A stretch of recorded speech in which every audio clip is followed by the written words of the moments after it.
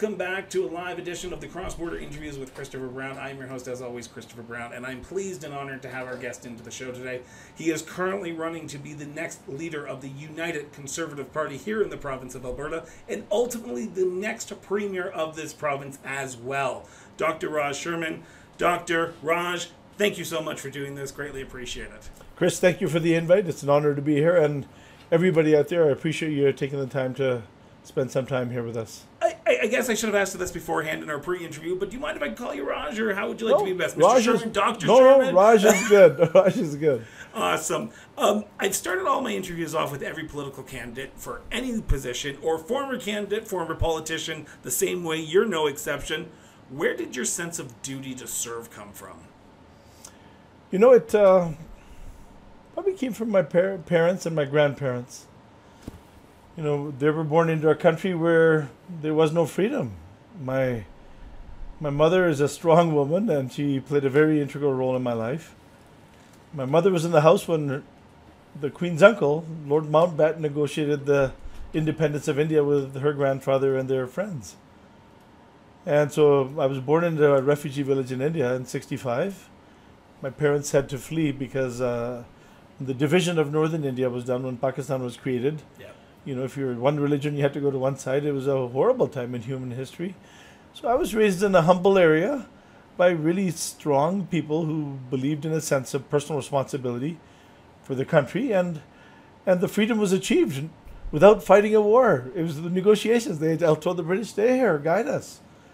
So yeah, democracy is very important to, to my family and, and, so, and to the and the country that I grew up in. What got you involved in politics here in Canada, though? Because that's the ultimate question that a lot of people are looking at their politicians today is why can we trust you to lead us through this uh, uh, this this world that we currently reside in? So why did you decide as a doctor to get into politics? You know, it's interesting. Uh, I myself am and was just as cynical as everybody else about politics here. What? Um, what are you talking about? People aren't cynical about politics, are they? You know, in 2004, I was a single parent working God knows how many shifts in emergency, flying with stars. And I have a construction company on the side. I'm coaching my kids' basketball and soccer teams, and I'm playing my own sports. I was a busy guy. And I was invited to a meeting by doctor colleagues of mine, and uh, the Alberta Medical Association were having meetings. I went to the washroom when I came out. I was elected the head emergency doctor in the province. so this is literally how it started. So what you're saying is don't leave a room when an election's going on. yeah. And we had a healthcare crisis because uh, a million people showed up to Alberta because of the oil boom in a very short period of time. You know, we had the crisis. I started working in ER in 1992 in an inner city ER in Edmonton at the Royal Alex Hospital, and we were all family doctors, and the residency started. So I was the first residency trained emerge doc from the Edmonton program. I guess I'm sort of the Arnold Schwarzenegger, the, the T100 Terminator model of ER docs in Edmonton. But it was in crisis, and uh, and we always said, look, it's not the ER crisis. When the ER is in crisis, it's a system issue and a societal issue. You know, societal people didn't have houses, homelessness, poverty, addictions, mental health, violence in the streets. That all comes to the Royal Alex ER in the inner city. I mean, the system issues. Nobody had a family doctor. So people didn't get a checkup for, for a week, and now they're so sick, we had to care for them and admit them to hospital. Hospitals were plugged up by seniors that didn't need to be there. There's no accountability. So we went on an advocacy campaign to educate and advocate society, the people who ran the system, and politicians. And I ran into Dave Hancock, and uh, he was the minister at the time. I go, Dave, geez, you sound like a pretty nice conservative. I thought you guys were all scary. And he said, Raj, we want, I want this problem fixed. And uh, he listened to us. We gave him evidence-based solutions. And Minister Hancock, he's a judge now. He convinced me to run for public office. Uh, on two weeks' notice, I ran for a nomination. I knew nothing about politics. So here we are. You you have been a public figure for some time. People will know who you are from your time as a PCMLA, as the time as the Alberta Liberal uh, leader. Uh, you have left politics, but you've decided there's a calling. You need to come back. You need to run for the position of UCP leader and ultimately the next premier of Alberta. Um, I wanted to ask the million dollar question: Why you? Why now? Well, one, uh, healthcare is in crisis there are many other systems. COVID 19 has been a game changer. Our economy was in the boots, and after COVID hit, healthcare is worse than it ever was when I first ran in 2006. First time around, I was the parliamentary assistant to two health ministers, three CEOs, and uh, or three deputy ministers and five CEOs in healthcare. And our government made certain decisions that weren't good. And uh, the creation of HS, I didn't support how it was created and the implementation of it. It led to a bigger crisis than when I first ran. And back then, I blew the whistle on my government.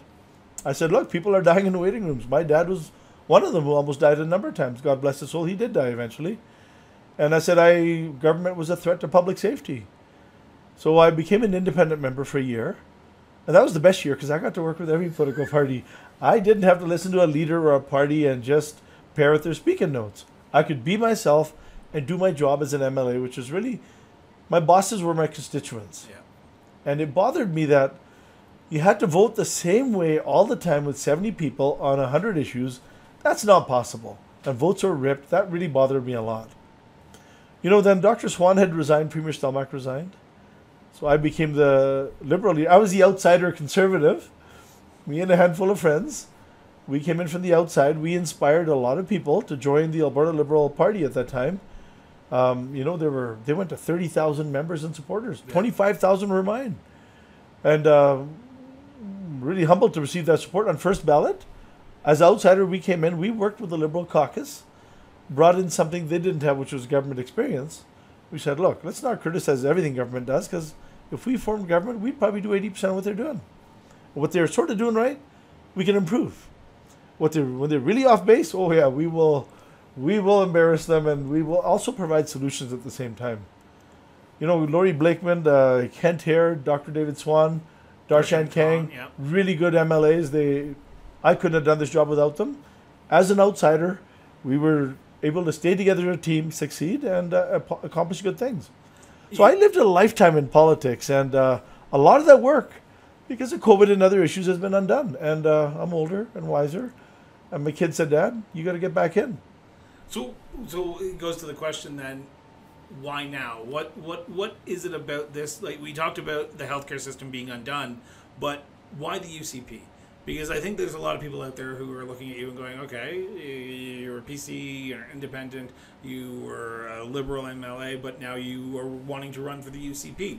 What is it about the UCP that drew you to that party? To that you said, "You know what?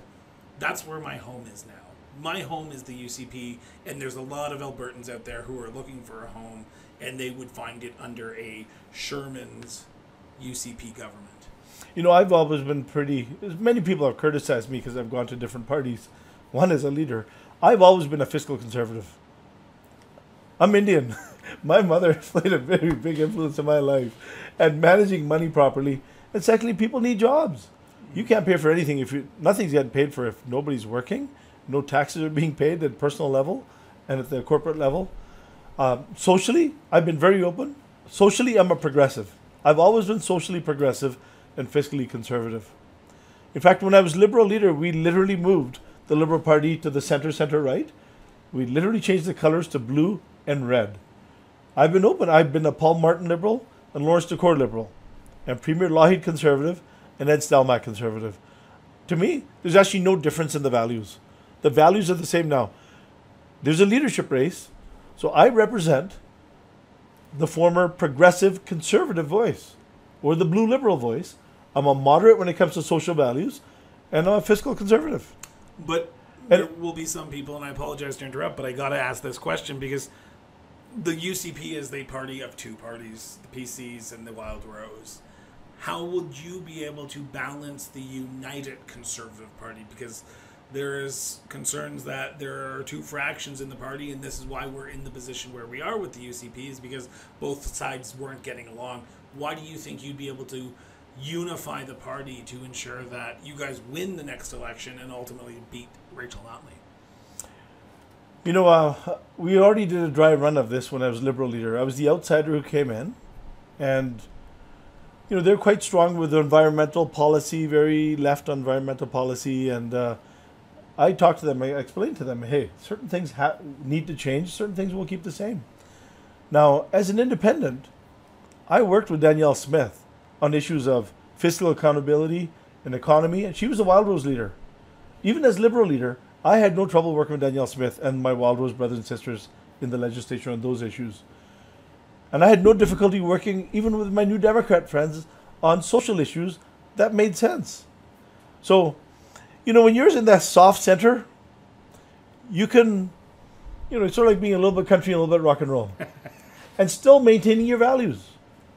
Um, like, hey, Danielle and I'll get along here, and Rachel Notley and I will, will get along on, on some sort of so, social social issues. I'm not cr- really far left on social issues. I'm not there, and I'm not really far right on economic issues. I met a Do you number think of Albertans are looking for that? Do you think I don't think so. are looking for a centered option? Because- absolutely. Really? I think most Albertans politically are sitting where I'm sitting. Most people are, and I think most people aren't voting right now because they're frustrated of far left and far right politics. And in fact, I met with a bunch of rural MLAs way before I decided to run. And they said, How would you deal with these issues? I said, Real simple. The same way I dealt with it when I was in the Liberal Party. You know, Kent Hehr and Laurie Blakeman was quite far left. I said, Guys, you get a free vote in the floor of the House. Vote for your constituents. Your job is to vote for your constituents. They're your bosses, not me. The leader is a servant. I said the difference between your vote and my vote, when you're the leader, as liberal leader, I'm concerned about what's going on with people in Two Hills, or Cardston, or Raymond, or Peace River. Yes, Edmonton and Calgary. As a leader, you're responsible for 4.3 million people, whether they voted for you or not. When I was a junior minister, I considered the health of every Albertan my personal responsibility. This is why I spoke out against my government. Said, hey, I know firsthand people are dying and suffering. They don't need to. And our government's lying to you. So, being an independent, I would ask my MLAs to be more independent of the leader in the party. And in fact, I told them I would expect that you would have a voting record, vote for your constituents, you'll have a voting record, because really you're leader of nothing if you don't have 45 people elected on your team. And so the rural MLAs were sort of shocked. I go, You guys don't have a chance to vote your conscience and vote for your constituents? They go, No. We have to vote the same way. And well, I think it's pretty clear what happened recently. The premier was pushed out by his own political party. You, you you mentioned something that I want to go back to, if you don't mind, here for a few minutes, and that is the urban-rural divide that this province has seen. Um, I, I worked in uh, rural, northern rural Alberta, and I can tell you that the people in rural communities believe that they're getting shortchanged. And I mean that with all respect because we do have an active listenership up in uh, Lesser Slave Lake area, Peace River area, high uh, high level area.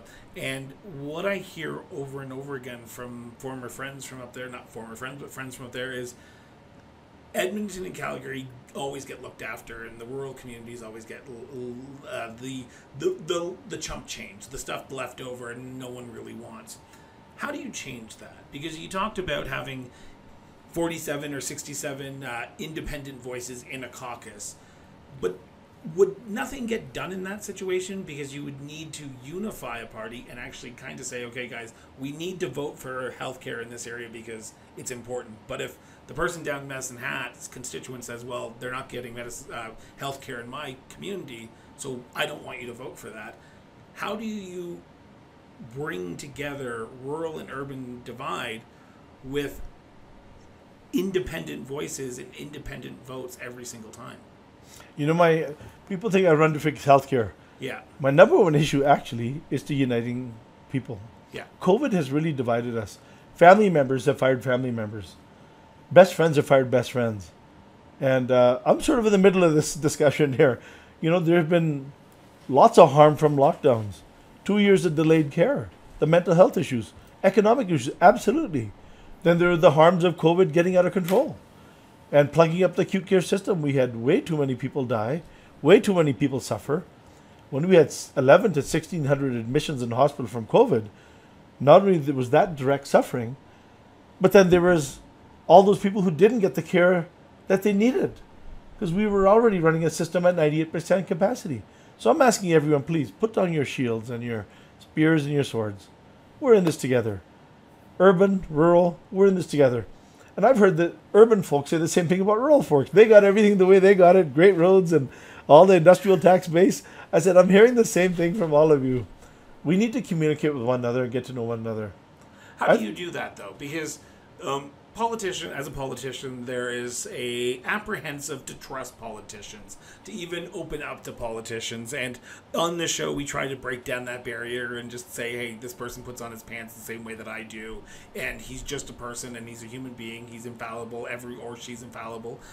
How do you break down that communication and start having that conversation? Because we are in a more politically divided world than we have ever been.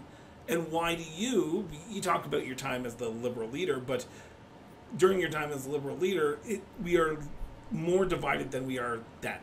So, why do you think right now, right here, 2022, Raj Sherman is the best candidate to unify all Albertans to start having that conversation and say, we have more that unites us than divides us?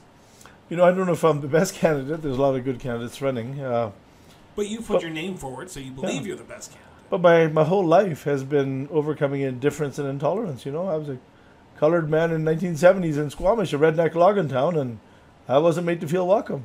I overcame that and overcame our differences, and we came to realize we were the same. I spent my summers in 1985 in Camp Caroline at a Baptist camp. You know, the Mr. Keegstra and Zundel were teaching certain stuff down the street, and KKK were having rallies down the streets of uh, Calgary in the early 1980s.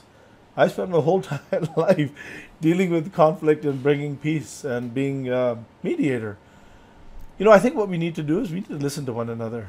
We need to be empathetic towards one another's cause. And if we can put on the other person's shoes and just change spots, and you realize we're actually all saying the same thing. As a doctor, I can say this because I have looked after 100,000 patients and then some from all over the province, whether you're urban or rural. So when COVID hit, I told my urban brothers and sisters, said, look, guys, they don't have any family doctors in rural Alberta because of a lot of misinformation. Many people in rural Alberta were afraid to get vac- vaccinated. Like Ryan Jespersen said, aren't you mad, Raj? Ryan, how can I get mad at somebody that's suffering and who's been who's a victim? People were dying in front of us. Then suddenly they wanted the vaccine when before we put the tube in. If we put the tube in on the ventilator, 50% chance you're going to die. And if you live, you're going to be on that tube for a long time. How can you get mad at a human being that's suffering in front of you? And secondly, they were victims of misinformation. I was upset at the doctors who were spreading in misinformation.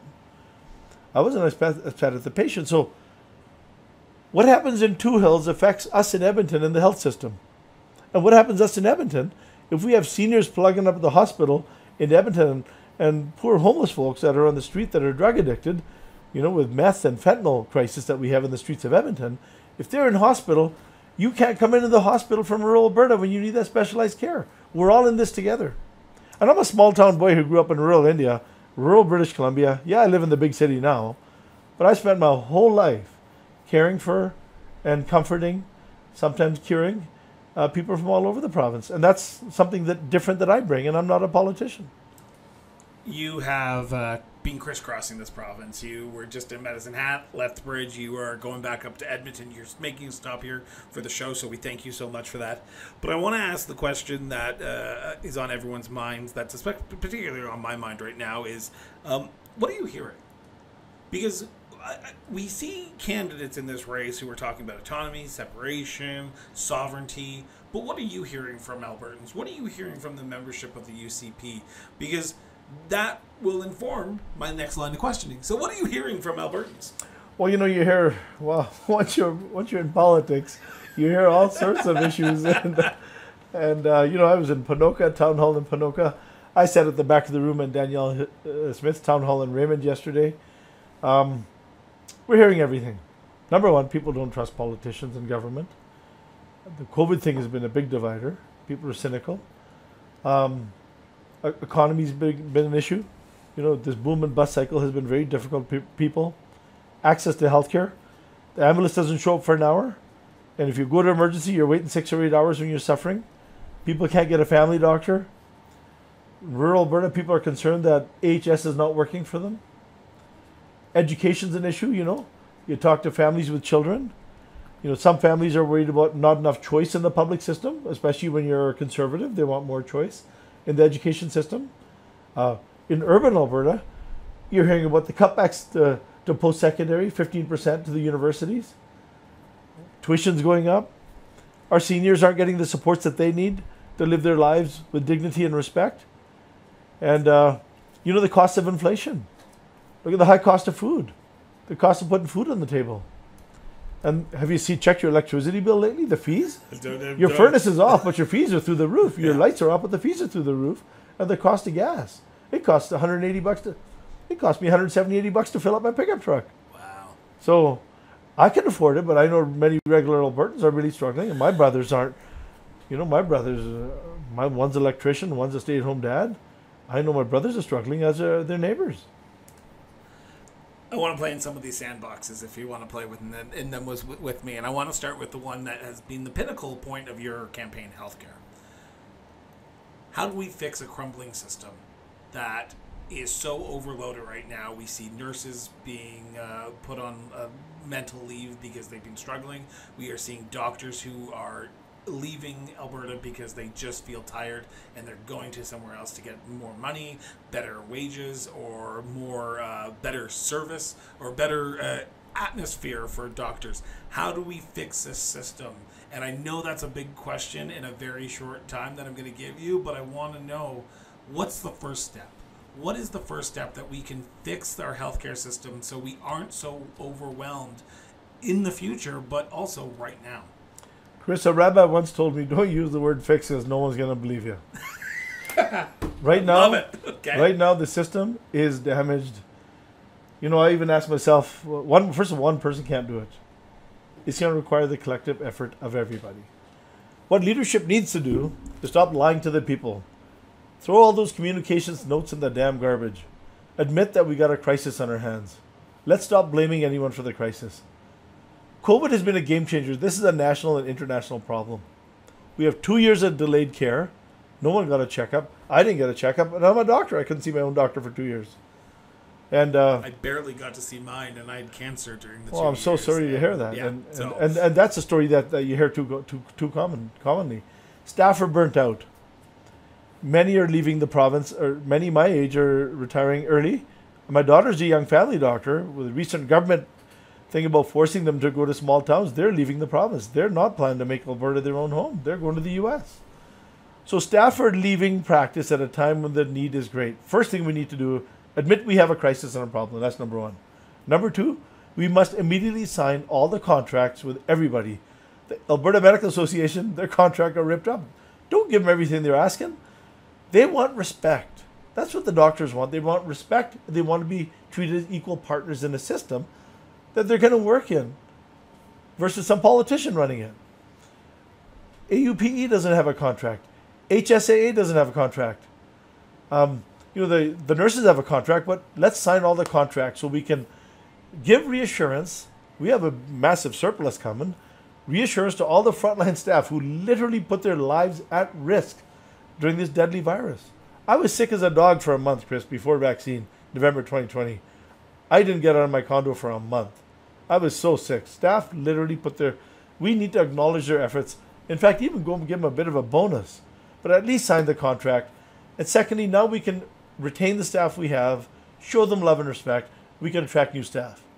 Now, it's a crisis. What I'm going to say is going to be a bit controversial. I think we need to dissolve the AHS board. They're all politically appointed by the NDP and the Conservatives. We need to put in an interim administrator who's an expert who will put together a team of healthcare experts from across the country, across the world, and right here from Alberta. We need to put former deputy ministers and AHS CEOs on the board. Uh, we need to put the Health Quality Council on the new emergency board. I would put the deans of the medical schools there. I would put the regu- regulatory bodies there, the College of Physician Surgeons and CARNA, and the regulatory bodies of the other professions, pharmacists, and uh, the allied health professionals. Let's put the unions as non-voting members. Everyone has something to contribute, and let's put the municipal leaders from AUMA. If I was the premier, that would be my health board, not somebody who's my buddy, who's appointed by because they donated to my campaign and they were nice to me. There'd be people who actually are concerned about the community and they can play a role. If I told you that 15 to 20 percent of hospitals' beds were plugged up by people who shouldn't be there, like seniors or homeless, what would you do, Chris, or anybody else out there? You'd say, let's get them out. I would be honest. I would say uh, let's get those people out. But also, if I knew so, and I'll, I'll be honest here, and I'm, I'm not trying to take away from your st- story, but during the first year after I was diagnosed with cancer and I was going through radiation and chemo, um, there were days when I would not go to the hospital because I would not want to overwhelm the hospital system. So I would sit in my house and suffer having seizures, having moments when I wouldn't be able to move, my legs. And, I, and I'm not the only one. I'm not the only one. Like, I would love to have said that I would have loved to have gone to the hospital, which I would have, but COVID was running rampant. We did not know all the details. And I sat here and I said, it's already overwhelmed, and I can't put myself in danger where I'm potentially taking up a bed, which someone is going to die from COVID if it happens. So, and that's what I would say. Well, th- this is the issue. Many good Albertans don't want to be a burden, and then when you present, they present really late. Yeah. When you present late, you suffer a lot more, and now we have a lot more work to do. If you're not feeling well, you go to a hospital or call 911. The ambulance should show up within eight minutes, 19 times out of 20. If you go to emergency, you should, if it's a, we're dealing okay with cardiac arrests and knifings and stabbings and massive trauma. Yeah. But if you go show up with a headache, chest pain, belly pain, unless it's a massive heart attack, you're waiting anywhere from four to eight hours, and many people are leaving without treatment. When they leave without treatment, they come back if they're sick. Heck of a lot sicker. If it's something fatal, you know what? I got mortician friends of mine telling me that, you know what? They called the hearse because the ambulance didn't show up for an hour and a half. So the system is dangerous right now. Dr. Paul Parks, he's AMA president elect. He's been on the radio and TV all over the place. I agree with him. Okay? So the way to do this is let's get the seniors out and let's stop them from coming in. Let's invest quickly, swiftly in home care, seniors community supports. We got to work with the municipal leaders. Heck, we could rent a, a bunch of hotels tomorrow. Let's rent a bunch of hotels tomorrow in Edmonton and Calgary, where all the big hospitals are, and let's just hire the staff. It only costs 150 bucks a room. They clean the room. Let's embed the staff. We don't need to build any buildings right now. We can get the, these folks out, get the support. Now a hospital can function as a hospital. Yeah. People who are admitted to emergency for a day or two or three days can now go up, and now we can take the sick person off the ambulance stretcher and out of the waiting room in. It's not the sore throat and runny nose going to emergency caused the crisis. It's we got 60 beds in the back. 30, 40 are plugged up by people who should have been upstairs two days ago, but they can't go up because grandma and grandpa and some homeless folk is plugging up that bed. We can do this tomorrow. Work with the hotel industry and get these folks out. Secondly, we need family doctors. We need lots of them. The government passed a bill called Bill 25 telling young doctors they have to go to rural Alberta. My daughter's one of them. Prior to this bill, 85% of young doctors' residents were going to stay in Alberta. Now, 75% are, are planning on leaving to either British Columbia or Saskatchewan, or you know what? The United States is coming here, picking off all our staff all over again. Nurses and, and doctors, you name it, they're flying them down there, first class flights. They're wining and dining them. They're not paying them with funny, funny money like us Canadians have. They're paying them with real American dollars. So this is a problem. We must reverse that legislation. Tell the young doctors we love them. Sign the contract. They're going to get paid, and we want them to stay here, serve the community that they grew up in. We have a whole bunch of our young doctors who've left the country, who educated elsewhere, Ireland, Australia, uh, Bahamas. The government cut post-secondary education by 15% because the economy was bad. We have money now. Let's invest in the assessments, practice assessments in the medical schools to get these folks working and into the system. We have foreign docs here. The real solution actually is rural medical schools, training family doctors in Lethbridge, in Grande Prairie, in um, Fort McMurray, in Red Deer, in Medicine Hat, training the whole healthcare team there. When young people train together in a in, in together when they're really young, they hook up. They find somebody and they hook up, and they're gonna make that place their home. Seventy percent of the time, they're gonna live and work within seventy miles of where they live. This is how you fix healthcare. And lastly, accountability. There needs to be some accountability. You need somebody who understands healthcare. I said, if you can't fix healthcare, you can't govern this province. It's 50% of human spend, all 45 to 50% of all spending in every government. If you can't run healthcare, you can't govern and be the premier of this province. I can put together a team that can fix or drastically improve healthcare really quickly. I want to I want to talk about rural doctors here for like two seconds, and then we're going to move on to our second last uh, topic before we wrap up here, and that is uh, rural doctors. Uh, municipalities are taking upon themselves to attract rural doctors to their areas. I, I worked for a municipality that had a doctor recruitment program that they would fly doctors into their community, show them around. Hey, look what we have! We have a mall. We have this, that, and the other. We have one Tim Hortons because that's what they needed to do to shore up because they felt like the provinces weren't doing enough. Um, how do you, how would you work with municipalities to attract rural doctors? Because we want to we want to make sure that they go there. They we want to make sure we have that rural uh, physician in those communities, but they go in, they stay there for five years, and then they leave because, well, I can go make more money down in Edmonton or Calgary or in a larger city than Hanna or uh, Raymond how do we do that? How do we work with our municipalities to attract those doctors? Or would you say the province needs to take that responsibility on for itself? You know, that's a robbing Peter to pay Paul. that's essentially what we're doing. Shuffling deck chairs on the Titanic. It's a very expensive band aid. Mm-hmm. And frankly, it's been 30 years and it's not working. The way to do this is bring our kids back. First of all, the kids that we're currently training, the government made a mistake in passing that law. I would reverse that law encourage our current kids that we're training to stay here and serve our province. Secondly, bring our kids back from across the world to work in rural areas. Sign a two year contract so that we'll give them their medical license. We have a lot of foreign trained doctors. You know, the joke is we've got the most educated taxi fleet on the planet. We have foreign trained doctors that are here right now. Let's see if they can get up to our, our standards. If they can't, we got to invest in their education, re education to our standards, and let's get them working and get and say, you know what, you got to go rural for a couple of years. But the real long-term solution is rural health schools. Yeah. Okay. And that's the real long-term solution. So there's short and one thing we can do immediately, another thing is let's hire every nurse practitioner into the primary care networks to work alongside doctors and let's hire nurses in emergency. I was a small town family doc when I started. In ER, there was no specialty. We were all family docs. I do what I'm trained to do as a doctor, highly trained to diagnose and make the treatment plan. We write it down, we give it to the team. We work such a fantastic professional team to execute the plan. Let's get the doctors in the community who do that hard work of family medicine, geriatric medicine, mental health medicine, pediatric medicine. This is tough medicine, hard work, and it doesn't pay a lot either uh, compared to some of my other colleagues. Let's get them the team in the community to do that job so let's invest heavily in the primary care networks. You know what I would do? You really want to fix healthcare long term? Yeah. Let's put an ATCO trailer in every school parking lot, and let's put a, a school nurse, a mental health counselor, physical physical activity counselor, and let's connect the primary care network to there.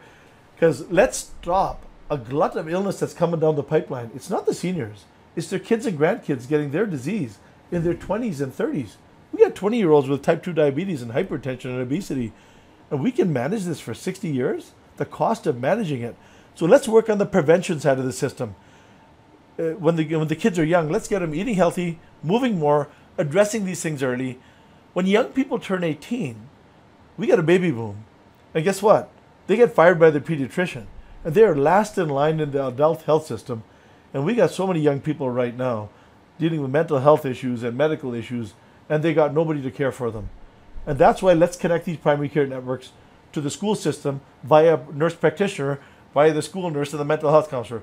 This is how we do it. It can be done, but it will require leadership, leadership that understands the problem, and a commitment in funding this. Speaking of funding, I want to turn to the big other big topic that I want to talk about today, and that is inflation. You talked about it earlier in your statement a few minutes ago, and you know that people are struggling right now. People are struggling with high, gas prices, high, high food prices, high electricity prices. People are struggling. We can't wait. And I, I've said this to every single candidate who's come on here.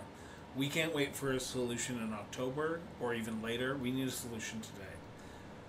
Um, while you're not leader right now and you're running to be the leader, what can we do to help Canadian or Albertans, I should say, from from here in Calgary, Edmonton, up in Fort Vermilion, in Banff, in uh, uh, Vermilion. What can we do right now as a government, as the UCP government? If you were talking to Jason Kenney right now, what would you say to him to do to get this issue fixed, but also help Albertans who are struggling?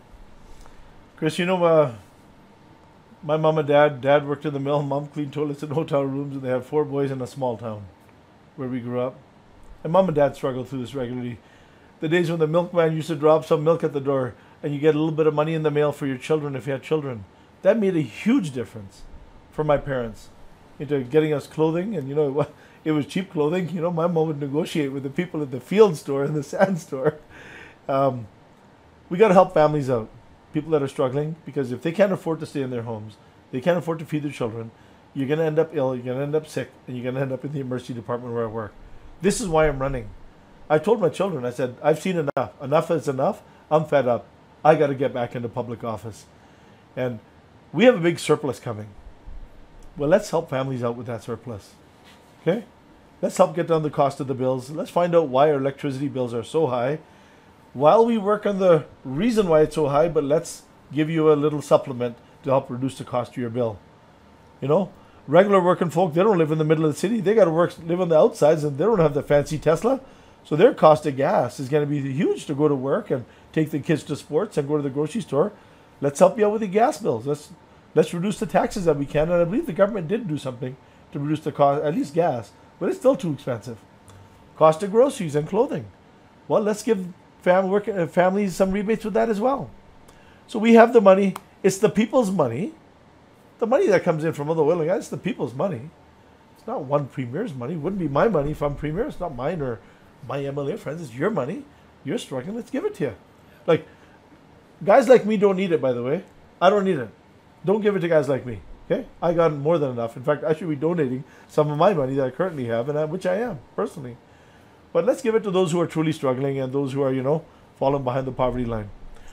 The moral test of a government is how you, you know, treat those in the twilight of their life, the children, those in the dawn of their life, the elderly, and those who walk in the shadows of life, you know, the sick, the handicapped, the disabled. This is that time for us as Albertans. And I believe the life that I've lived, working in inner city hospital, Alberta needs an empathetic leader who whose heart bleeds for you. I was not going to ask this question, but we did have a question come in. He's uh, listening via the audio show on their website right now. Jonathan, I don't know his last name, all it says is Jonathan. He wants to know, I'm going to read this here. What is your position on the current K through 6 curriculum and would you overturn it? You know, my belief has always been you got to talk to the people that do the work. And you got to talk to the people who are affected by the work. We need to review the decision. Yes, it's very important. Parents should have a say in what their children should learn, as should students. But you know what? Teachers, they're doing the teaching. They've got to be at the table. They have to be, as well as some international experts, because we got to see for our educational system if we're on par with what the rest of the world's going to be. Because at the end of the day, societies that out educate us today are going to outperform us tomorrow. And the same thing goes with the health system. The nurses need to be involved, and the doctors need to be involved. You know what? The most important person in the health system is the unit clerk and the environmental services folks. They'll tell you how to fix the health system. They see it all. So I've always been a believer if you want to fix anything, you want to make any change, the leader has to sit down with the experts, which is the people doing the work, and the people using the work, which is the students and the family. So I simply think this could have been a better decision. And if I'm given the privilege to govern and and serve this province on October 6th as premier, we will review a lot of these decisions that where Albertans feel that they weren't done properly. And you know what? The government did do a lot of good things as well. Red tape reduction was fantastic. We're in a surplus position despite how challenged our economy was. So Travis Toews did a great job of balancing the budget, and I got a good Premier uh, Kenney uh, credit there as well. There are other th- decisions that I would review. Uh, the, the education decision would be one of them.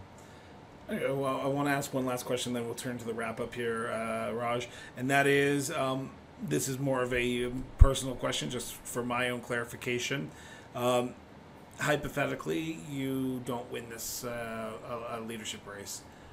will you run for the UCP or will you run for a nomination in the upcoming 2023 uh, Alberta provincial election, even if you don't win?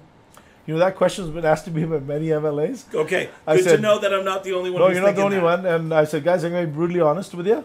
Number one, I need to know what the premier's direction is, whoever the premier is. What's their direction with the government? What are their policies, and what do they want to do with the province? And most importantly, what do they want to do with healthcare? and what role do they want me to play in it? I said, I told these young newbie MLAs, their first term MLAs, I said, guys, I'm an old dog. I've done this. We're not. I've done this rodeo before, and I said, hey, if they want to privatize healthcare and hack it to pieces, I'm the wrong guy to ask because I'll beat the snot out of them again. And you probably don't want me sitting with you. Because if I run, I'm going to work my buns off and I'm going to win. I won as a liberal and as a cons- conservative in, Medal- in Meadowlark, which is now Henday West. I would run there. Yeah. So if I wasn't successful, it all depends who the premier is. I'd have to sit down with them, ask them what their priorities are, and ask them what they want of me. But if they're going to lie, and they're going to cheat, they're going to change their mind after the election, gonna, they're going to know absolutely well I will beat the snot out of them, politically speaking.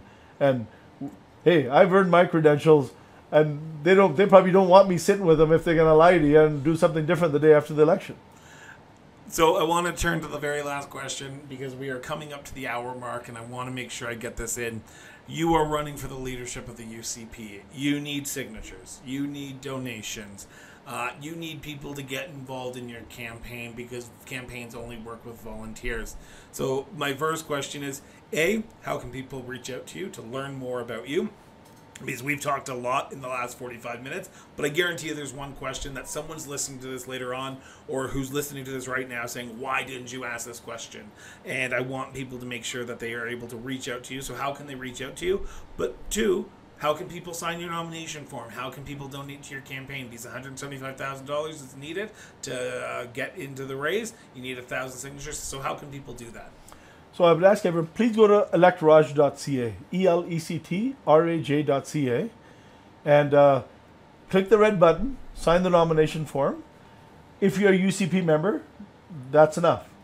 But if you don't have a political membership in the UCP, please click the blue button where you can buy a $10 UCP membership, or go to unitedconservative.ca and buy a $10 UCP membership.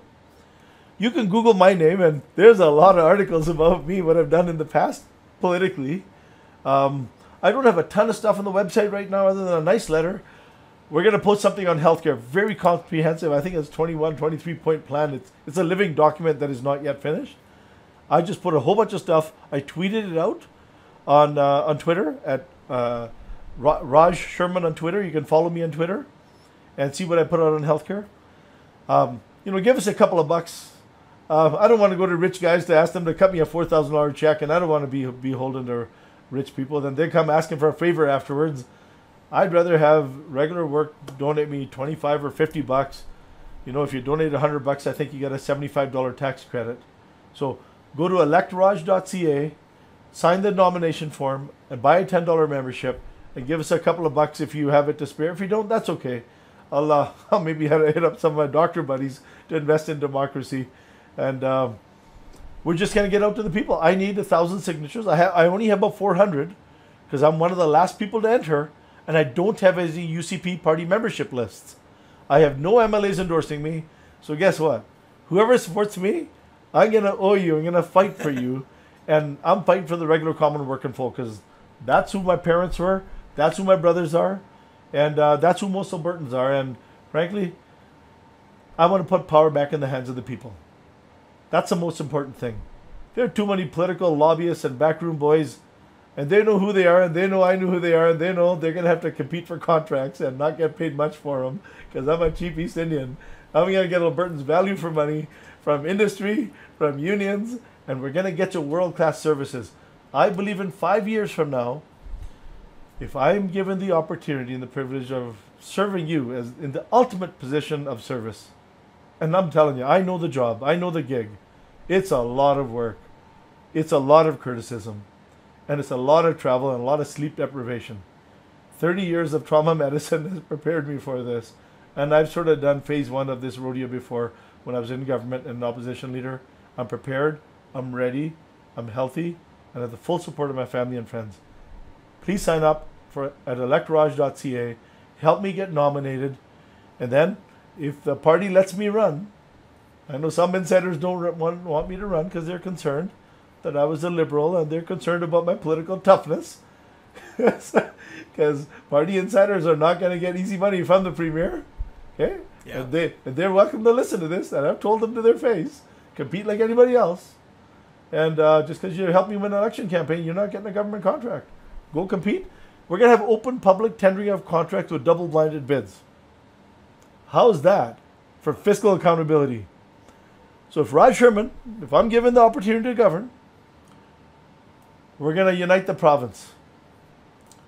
We're going to have a diversified economy, knowledge based economy. We're going to invest. I'm talking 3D printers manufacturing plastics, another refinery. We're talking pharmaceutical companies manufacturing drugs in Alberta. We're talking a pipeline, a transportation utility corridor to Churchill, where we buy Manitoba's hydroelectric power late at night. They got 17 dams when it's cheap and very cheap and it's environmentally friendly. And we send a pipeline over there to Churchill, the grain port, double hull tanker our oil to the Irving refinery so they don't have to get it from Venezuela. And we send negotiators to Quebec, really good negotiators. Let's not say bad things about our brothers and sisters in Quebec. You know, let's cut them a deal. We can give them a few cents on the dollar, but if we get that, if we get that uh, pipeline to to that uh, Hudson Bay, hey, we might not need an oil pipeline through Quebec. Let's get a pipeline through Prince Rupert and go through Alaska. Let's go straight up north.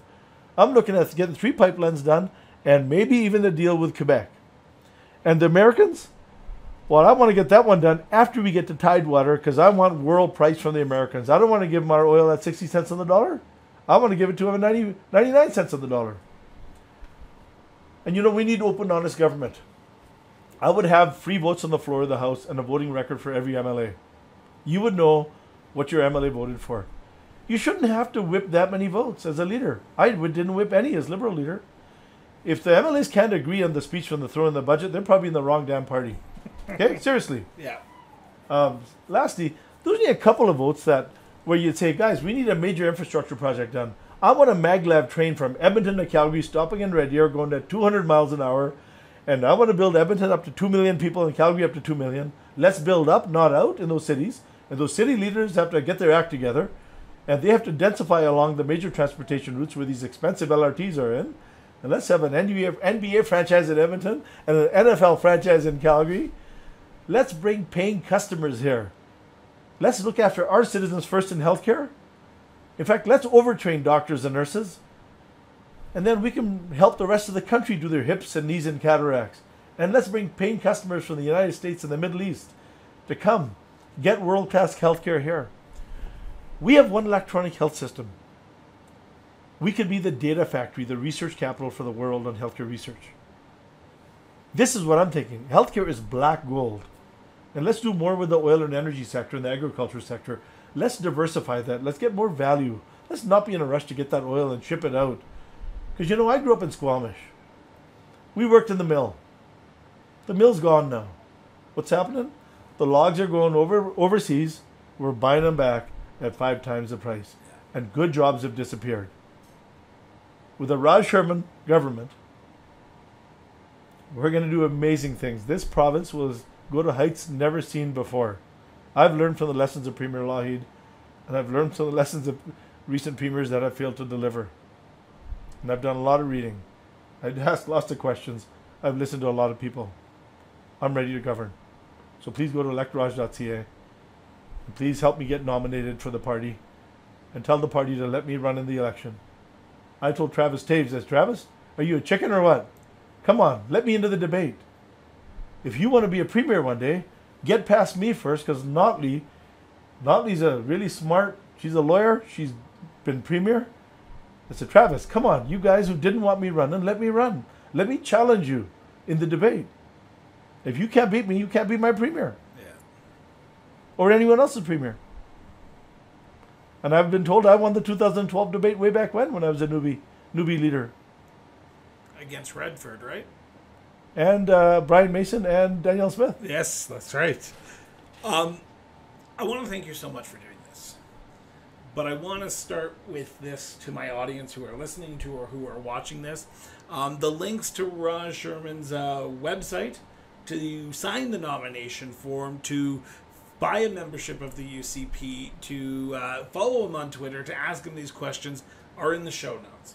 So if you scroll down right now, if you're watching this on YouTube or if you're listening to this live by the website, scroll up or down depending on which one you're on, and you can actually click on the links there and you can find them because this is the time when you need to get involved. If you are not a member of the party, get involved, get a membership.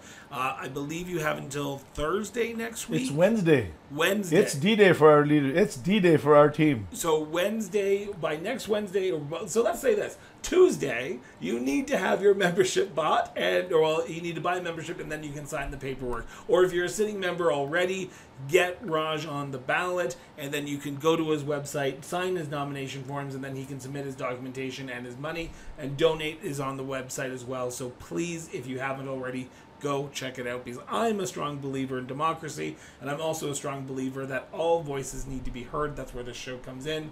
We always love having a diverse group of voices on the show. So, Dr. Raj, Raj, thank you so much for doing this. This has been an honor and a pleasure.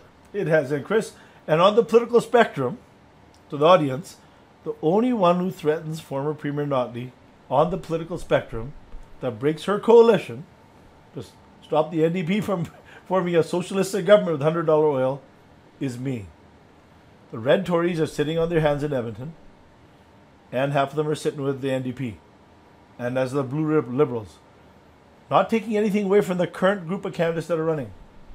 I've got the experience from government and opposition, but on the political spectrum, to prevent an NDP majority government, I'm the only one who sits in that political soft center, little left of center socially and right of center fiscally, to get the UCP a majority government with the representation from Edmonton and Calgary. Yes, rural Alberta we got, but we got to win Edmonton and Calgary. You know, we got to get MLAs from all cities. We can't just get 39 rural MLAs and five Calgary MLAs. Come on, that's not representative of the province. Yeah. Edmonton's missing out in government right now. We need five MLAs from Edmonton. We need a bunch from Calgary, and yes, a bunch from rural Alberta as well. So thank you. No, and I thank you so much. So with that, I want to thank everyone for tuning in to another great live edition of the show. Um, please tune in all this week. We have other great episodes coming up. Uh, I want to remind everyone we are off next week, so not this week coming up, but next week we're off. And get out from behind social media and go have a conversation with somebody. I know that's hard to do in 2022, but go talk to somebody because it makes our society better, it makes our democracy better, and you'd be surprised, as Raj and I were just talking about, how much we have in common compared to what divides us. So go have a conversation. So with that, everyone, have yourself an excellent day, and remember, keep talking.